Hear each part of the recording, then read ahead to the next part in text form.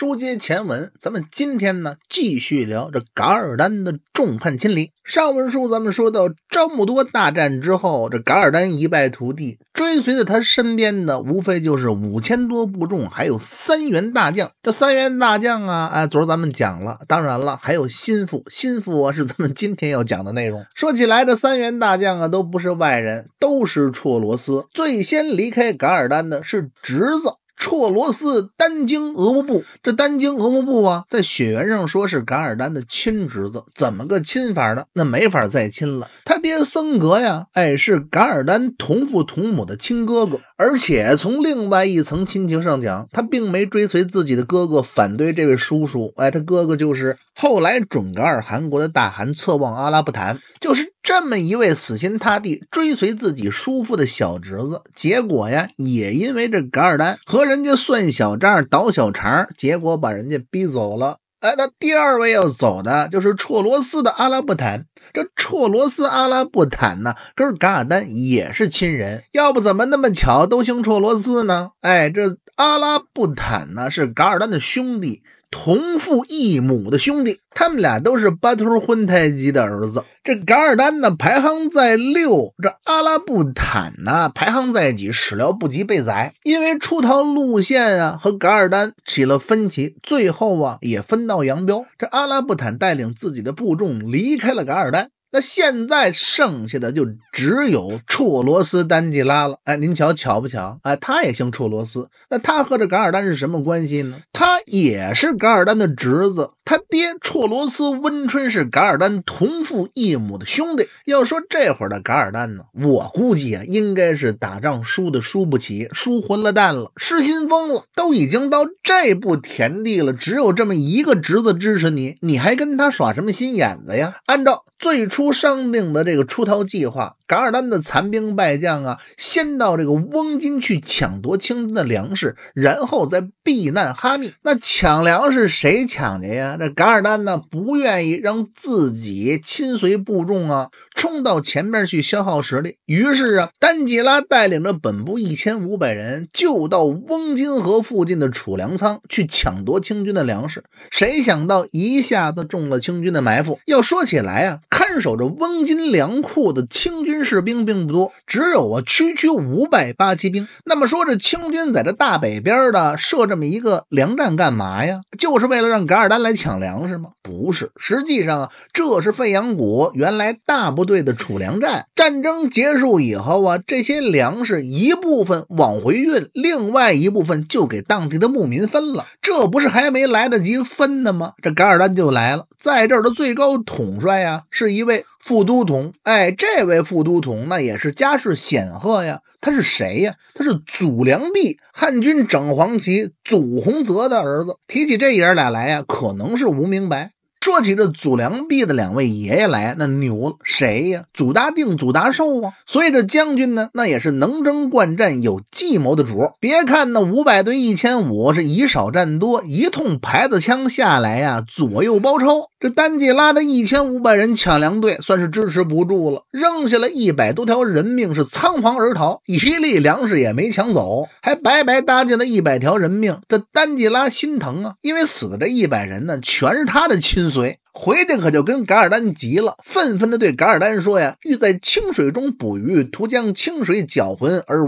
未得其鱼。”他的意思是说呀，咱们现在呀，都已经是败军之将了。还明目张胆的干这种明抢明夺的事儿，那么咱们来个声东击西呢？我这抢粮食这活儿也好干呢。您别看呢是五百对一千五，硬碰硬啊！关键是咱们现在士气不成，这碰了面了，见了仗了，您看死人了吧？哎，自此以后啊，这小侄子。丹吉拉与这噶尔丹之间也产生了离隙，这俩人呢各在各的大帐之中，自此啊，哎，爷儿俩少来往。前文书咱们聊过这个事儿，噶尔丹的老师五世达赖圆寂的这个事儿啊，不但康熙皇帝不知道，就连这噶尔丹呢，他也被蒙在了鼓里。这件事情啊，应该完完全全是真的，因为啊，有这个清宫档所载，康熙皇帝截了噶尔丹的十四封信，到现在还在这中国第一历史档案馆里存着呢。这上边啊写的明明白白，很清楚。哎，那是怎么截获的这十四封信呢？这噶尔丹呢，劫粮不成，也去不了哈密。那为什么说哈密也去不了了呢？哈密回王啊，人家投降大清了。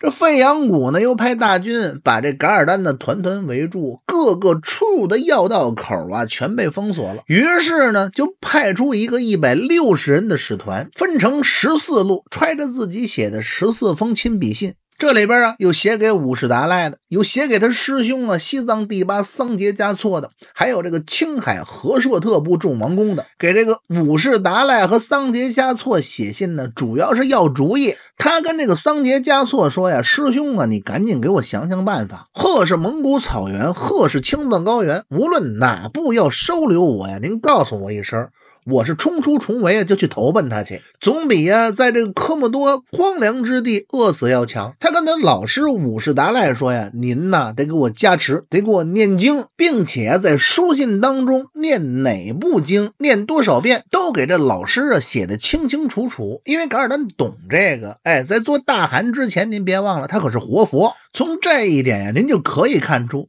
这会儿的噶尔丹呢，确实不知道自己的老师他已然圆寂了。那么说给。青海和硕特部的各个王公写信又是什么意思呢？他跟这些和硕特部的人说呀：“念在咱们是卫拉特四部的亲情份上，你们呢，即便是不收留我，也得把我的儿子收留下来，好好的把他抚养成人。”他指的儿子是谁呀？他的幼子色不腾巴尔朱尔是他的心尖子呀。他尤其现在觉得呀，太对不起这儿子了。这儿子的妈妈就是他最心爱的妻子阿努可敦。这阿努可敦就是为了他在昭木多一战当中披甲上阵，最后死于阵前。一颗炮子迎面而来，正打中脸颊。这清军史书怎么写的来着？啊，叫失衡于道左。要说呀，这噶尔丹他不缺女人，那谁让这阿努可敦和他感情最深呢？他爱媳妇儿啊，自然就疼儿子。他看着这个爱子色不腾巴尔朱尔啊，这个没娘的孩子是怎么看怎么觉得可怜。于是啊，他就想趁着自己还活着，在这厄鲁特四部当中说话呀，还有一定的分量，给这小儿子呀找一个吃饭安身的地儿。这叫什么呀？这叫托孤托孤。咱们还别说呀，这些和硕特部的王公收不收留他的儿子色不腾巴尔朱尔？哎，这十四封信呢，一封也没送到目的地，因为这康熙皇帝下令让这个费扬古把各个交通要道的咽喉处啊都封了，派出去的一百六十人呢，谁也没突围出去，悉数的都被擒拿了。十四封信到最后的去处啊，那都是康熙皇帝的龙书案。这噶尔丹和自己剩下的亲随一商量啊，这突围不行。抢粮不行，送信儿还不行，那怎么办呢？咱们投降吧！真投降吗？别人不知道，这噶尔丹呢肯定是不想投降，他呀是诈降，缓兵之计呗。既然要投降啊，那必然得是选出一位使者，谁做使者呢？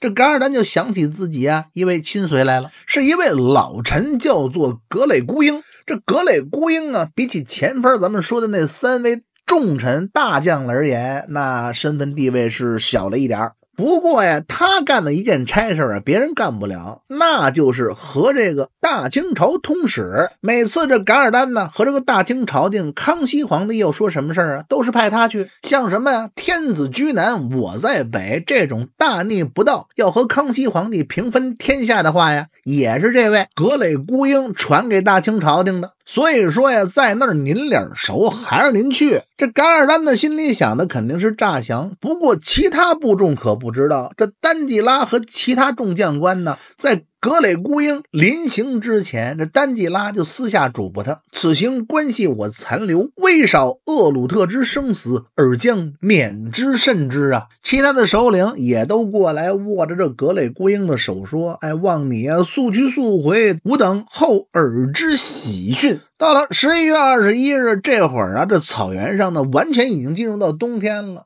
这噶尔丹的使者格雷孤英啊，来到了鄂尔多斯，到了这康熙皇帝的行宫当中。到了一看呢，看着康熙皇帝这会儿太滋润了，在自己的大卧当中，好家伙，这个大卧出了号了，一百人在里边坐着开会呀，哎，不挤得慌，吃着烤肉，看着歌舞，喝着奶子酒，这大卧呀，四外遭生着无数个大火盆。再瞧这康熙皇帝，脚底下呲着脚炉，手里捧着手炉。这坐在交椅之上，龙书案上啊，还放着热酒。这外边冰天雪地呀，看着康熙皇帝透着这么暖和，哎，人家这也叫打仗。再瞧瞧我们大汗，在大营当中啊，都快嚼了草根子了。这康熙皇帝差点没认出来这位老熟人，准噶尔汗国的使者格雷孤鹰。原来这老头啊，干净利落，是这准噶尔人当中啊少有的有儒家之风的老者。这回一看呢，了不得了，瘦弱不堪。看衣衫褴褛，就像一个老乞丐一样。康熙皇帝看了之后啊，也是一声叹息，连忙啊赐座、赐酒、赐茶。正所谓啊，两国交兵不斩来使，他是使者。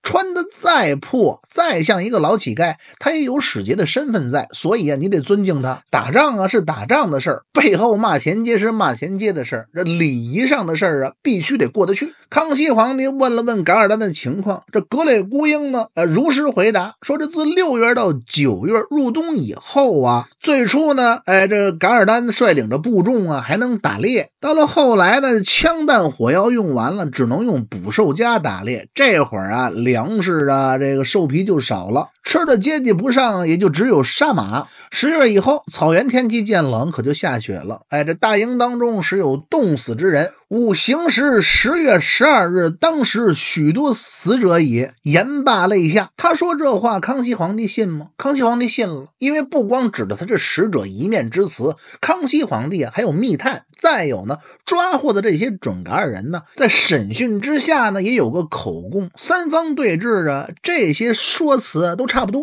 那康熙皇帝这会儿觉得，既然你要投降啊，我就允降；真降呢，哎，咱们就商量着来。如果你要是再跟我耍心眼使奸计，给我这玩诈降这一套啊，那我就将计就计，先把你稳住了，到时候啊打一个老实的。于是就派出了使者跟随这个格雷孤鹰啊，到噶尔丹丹的大营去传旨。那这会儿噶尔丹干嘛呢？实际上格列孤英一走，这噶尔丹立刻整顿人马西撤。那这各部首领就纳了闷了，说你不是要投降，咱们不得等这使者回来听听消息吗？那咱们西撤去哪儿啊？这些人呢不愿意走，磨磨蹭蹭的就要等着格雷孤鹰回来。这噶尔丹可不是这么想的，噶尔丹放出这只孤鹰去，其实就是想拖延时间，自己好跑。可是没想到自己的部众啊不配合，哎，更没想到的是啊，这只孤鹰啊飞起的快，飞回来的也麻利。刚到十二月初，这格雷孤孤鹰可就回来了，不但他回来了，还带来了大清朝的使臣。这噶尔丹这个气就别提了。你个老头子怎么不明白我的心呢？还敢把大清朝的使臣往这带？你知道后边跟没跟着尾巴呀？还别说呀，你们招来五千人的清军部队，就招来两千人，咱们现在应付不了啊。那可是说使臣来了，见是不见呢？搁噶尔丹的意思，不见。我本来就没打算投降，见着这使臣，我说什么呀？并且这噶尔丹这会儿也没有心情。行见这个大清使节，就在这格雷孤鹰出使大清这一个月的时间之内呀，这准噶尔大营当中发生了不少的事儿。这武将造反呢，指着噶尔丹的鼻子怒骂噶尔丹。这还不说，这噶尔丹的心尖子，自己的小儿子色不腾巴尔朱尔啊，丢了。